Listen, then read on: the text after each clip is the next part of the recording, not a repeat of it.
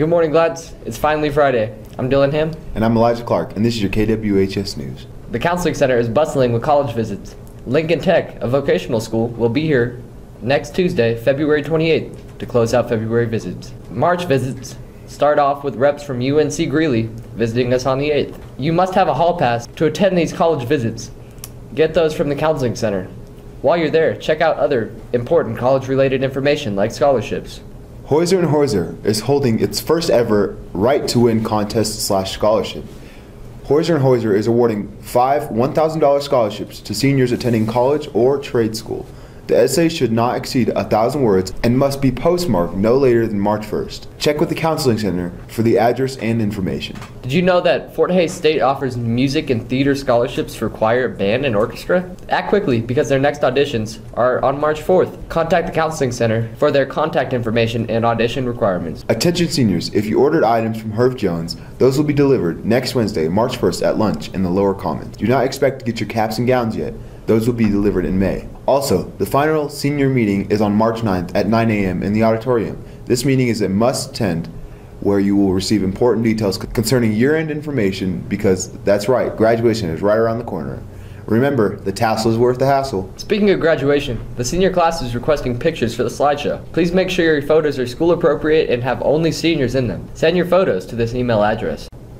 Hey Elijah, I know it's a little early, but you know me, I'm a little hungry. Want to know what we're having for lunch today? Absolutely. Let's check in with Miss Betsy. Hey, Miss Betsy, what's for lunch? Happy Friday, everybody. Another week down. Uh, sorry for a menu change today, but uh, we're going to have chicken soft taco with corn and black bean salad and Spanish rice. So come on down and see us and have a great weekend. Bye. Thanks, Miss Betsy. Students, remember to pay your lunch charges or add money to your accounts. Students, remember the Power Club is sponsoring a hat day today. You must have a wristband to wear your hat. All proceeds benefit the Widefield Senior Center. Also, students, today is the last day to turn in your golden ticket. Teachers, thanks for recognizing students who demonstrate power on a consistent basis. If you haven't handed out your golden power ticket, please be sure to do that today so students can get them in for the drawing at the assembly next week. Students, you can still buy your matchmaker results for $2. See Miss Ship in room 202 before or after school. Now here is Abby Lorbecki with our sports update.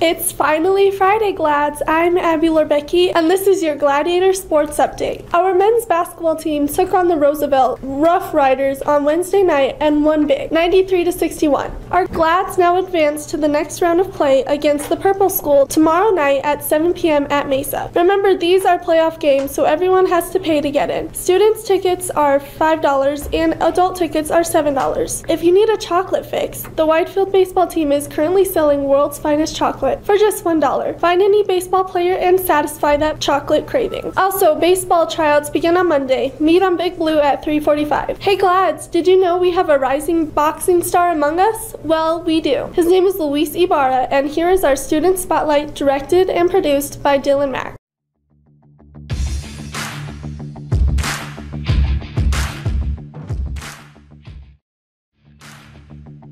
I got started in boxing when I was like six years old with my dad. Eight years.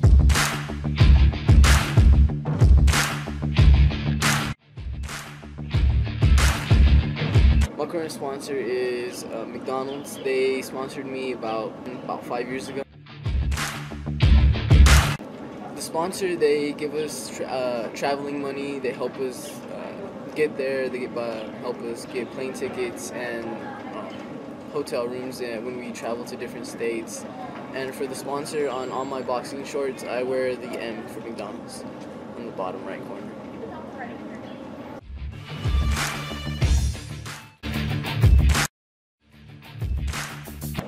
California. It's warm and there's a lot of beaches there. Mostly they just help us get to other other states and get to tournaments and help us get there with donations. I want to take it all the way to the professional level, get um, win a world title, and before that, hopefully go to the 2020 Olympics. One thing I would like people to know, I guess, is boxing is not as as brutal as they say it is. It's actually a lot more fun than than a lot of other sports.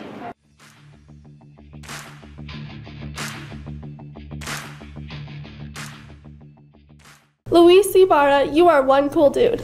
Glads, if you know of any other student who participates in sports outside of school, let us know so we can shine that spotlight on them too. Finally, Glads, if you plan to play a spring sport, those practices begin on Monday, February 27th. But if you do not have a yellow card and current physical on file, you cannot practice. Avoid the long line on Monday and see Mrs. Price today in the main office to pick up your yellow cards or physical packets. That's all I have for you today. I'm Abby Lorbecki. See you at the game tomorrow. Go Glads, beat Mesa. Back to you, Dylan and Elijah. Thanks, Abby.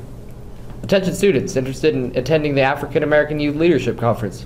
Conference date is March 11th at Colorado College from 9 a.m. to 5 p.m. The conference is open to students in 6th to 12th grades. See Mr. Hall in the Counseling Center for more information. Juniors and seniors, it's not too early to start planning your prom experience. Outside guest passes are now available in the main office. Get yours early to ensure your date can accompany you to the biggest dance of the year. Guest passes are due back on April 14th.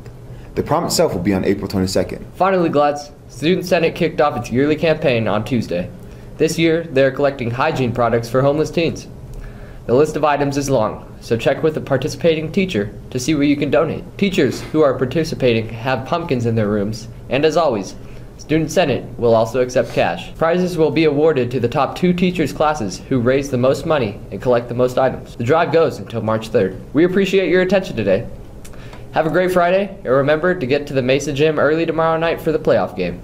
I'm Dylan Ham. And I'm Elijah Clark. We'll see you again on Monday. Have a great weekend. Go Glads.